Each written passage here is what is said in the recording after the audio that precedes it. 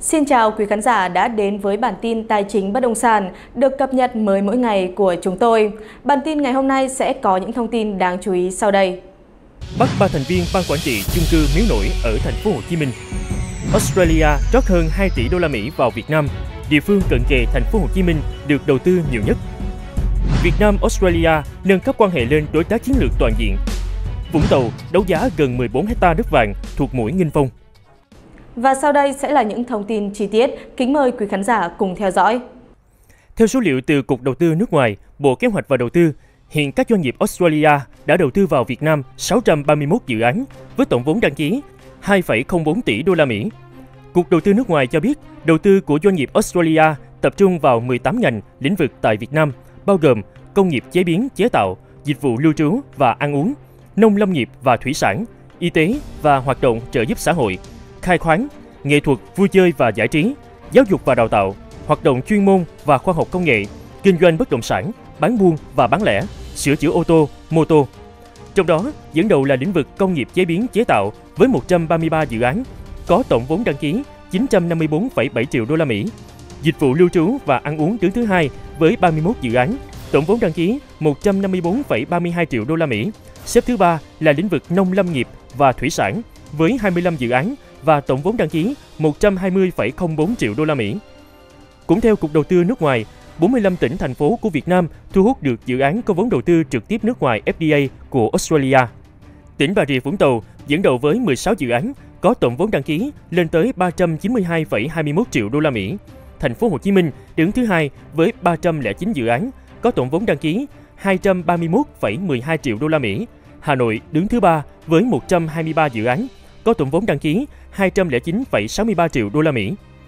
Trong khuôn khổ chuyến công tác của Thủ tướng Chính phủ tham dự hội nghị cấp cao đặc biệt kỷ niệm 50 năm quan hệ ASEAN-Australia và thăm chính thức Australia đang diễn ra, Bộ trưởng Bộ Kế hoạch và Đầu tư Nguyễn Chí Dũng và đoàn công tác của Bộ đã làm việc với một số đối tác, doanh nghiệp để thúc đẩy đầu tư giữa Việt Nam, Australia, đặc biệt là trong lĩnh vực năng lượng sạch, năng lượng tái tạo.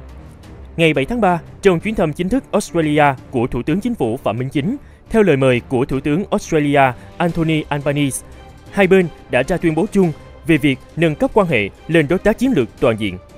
Với việc tuyên bố quan hệ đối tác chiến lược toàn diện, chính phủ hai nước cam kết tiếp tục phát triển quan hệ trên tất cả các lĩnh vực và thúc đẩy mối quan hệ được nâng cấp trên cơ sở tôn trọng luật pháp quốc tế, chủ quyền, độc lập, toàn vẹn lãnh thổ, tôn trọng hệ thống chính trị của mỗi nước.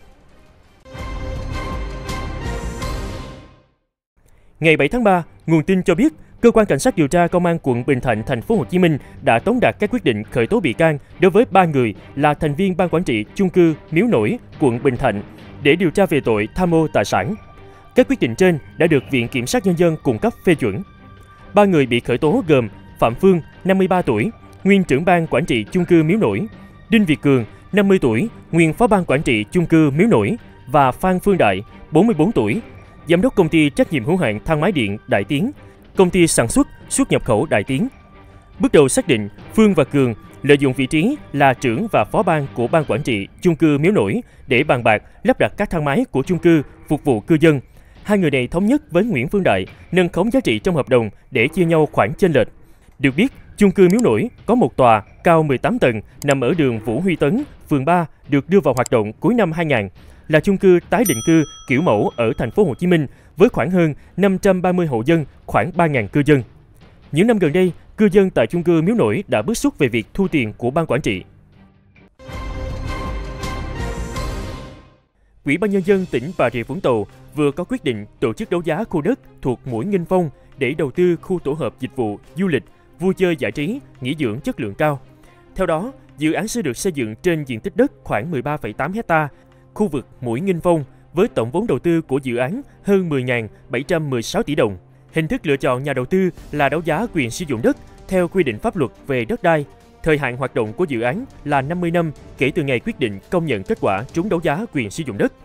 Mục tiêu đầu tư của dự án là xây dựng, phát triển tổ hợp du lịch nghỉ dưỡng, dịch vụ thương mại cao cấp với đặc trưng tận dụng khai thác cảnh quan thiên nhiên sẵn có, tổ chức các hình thức giải trí, nghỉ ngơi với mô hình đa dạng, đẳng cấp nhằm phát triển, hình thành các sản phẩm mới, phục vụ khách du lịch trên địa bàn thành phố Vũng Tàu cũng như trên địa bàn tỉnh. Chiều 6 tháng 3, Ngân hàng Thương mại Cổ phần Quân đội đã tổ chức hội nghị chia sẻ thông tin với các nhà đầu tư về tình hình kinh doanh năm 2023 và triển vọng kinh doanh năm 2024. Tại hội nghị, chia sẻ về tình hình các khoản trái phiếu của Novaland và tập đoàn Trung Nam, ông Lưu Trung Thái, Chủ tịch Hội đồng Quản trị, Ngân hàng Thương mại Cổ phần Quân đội MB cho biết, phần dư nợ của Novaland tại MB đã giảm gần 50% dư nợ trong năm 2023. Tình hình các khoản vay của Novaland đang tốt lên. Ông cho biết doanh nghiệp đã tích cực giải quyết các thủ tục từ hai dự án quan trọng là Aqua City và Nova World. Ở hai dự án này, vấn đề quan trọng nhất là tiến trình pháp lý đang diễn ra khá đúng với tiến độ mà chính phủ đã hỗ trợ và thông báo. Ông Thái cho hay, Ông Lưu Trung Thái cho biết dư nợ của Novaland và các công ty con vẫn đang được phân loại ở nhóm 1, nợ đủ tiêu chuẩn vì vẫn đang trong tiến trình trả nợ bình thường. Tôi đánh giá khả năng phục hồi các dự án này tương đối khả quan. Ông nói thêm, với tập đoàn Trung Nam, MB tham gia 3 dự án thành phần và các dự án này đều đóng điện đúng thời gian và đạt được mức giá tốt. Ba dự án này có dòng tiền trả nợ đều đặn, không có vướng mắc về khả năng trả nợ. Chia sẻ chung về việc cho vay bất động sản, Chủ tịch MB cho biết ngân hàng đã thiết lập các chính sách và hạn mức cho vay bất động sản hàng năm. Cụ thể, ngân hàng kiểm soát ở mức độ cho phép xoay quanh 8%. Ngân hàng đã và đang tập trung vào các dự án ở các địa phương lớn, có nhu cầu cao, tập trung phân khúc có giá thành hợp lý, số lượng khách hàng đông. Bên cạnh cho vay dự án thì ngân hàng cũng phát triển dư nợ từ khách hàng bán lẻ mua dự án. Phần tiếp theo của video sẽ mang đến cho bạn những thông tin nổi bật khác mà bạn không nên bỏ lỡ. Các bạn hãy cùng nhau xem tiếp video để biết đó là gì nhé.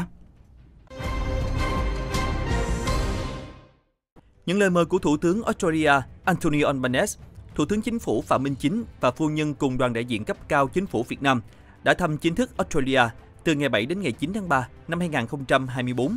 Sáng 7 tháng 3, sau lễ đón chính thức trọng thể tại nhà Quốc hội, thủ đô Canberra, với nghi thức cao nhất dành cho người đứng đầu chính phủ. Thủ tướng Chính phủ Phạm Minh Chính đã có cuộc hội đàm sâu rộng với Thủ tướng Australia Anthony Albanese. Tại hội đàm hôm nay, tôi và ngài Thủ tướng thay mặt chính phủ hai nước tuyên bố về việc nâng cấp quan hệ Việt Nam-Australia lên mức đối tác chiến lược toàn diện. Thủ tướng Phạm Minh Chính cho biết tại họp báo chung ở tòa nhà Quốc hội Australia. Thủ tướng khẳng định khuôn khổ quan hệ mới này sẽ góp phần tăng cường tin cậy chính trị và làm sâu sắc hơn nữa quan hệ hợp tác Việt Nam-Australia, đáp ứng nguyện vọng chung của nhân dân hai nước. Hai bên sẽ phối hợp chặt chẽ để thực hiện sáu phương hướng lớn nhằm đưa hợp tác trên các lĩnh vực đi vào chiều sâu, hiệu quả, thực chất hơn. Thời gian tới, Cà phê Lên TV sẽ triển khai nhiều video hấp dẫn về hỏi đáp từ hội viên, series kiến thức bất động sản, review khu vực hay dự án theo yêu cầu từ hội viên, tin nóng về hạ tầng. Những video này chỉ dành riêng cho hội viên của kênh Cà phê Lên TV. Trân trọng mời các bạn đăng ký trở thành hội viên ngay hôm nay để chúng tôi có động lực phát triển nhiều video hay và bổ ích hơn nữa. Thông tin vừa rồi cũng đã khép lại bản tin bất động sản ngày hôm nay của chúng tôi. Nếu quý khán giả có bất kỳ thắc mắc hay góp ý nào, có thể chia sẻ bằng cách comment vào phía dưới video này và đừng quên nhấn nút like, share và subscribe cho kênh của chúng tôi. Chúng tôi rất mong nhận được sự ủng hộ của quý khán giả. Xin chào và hẹn gặp lại trong những chương trình lần sau.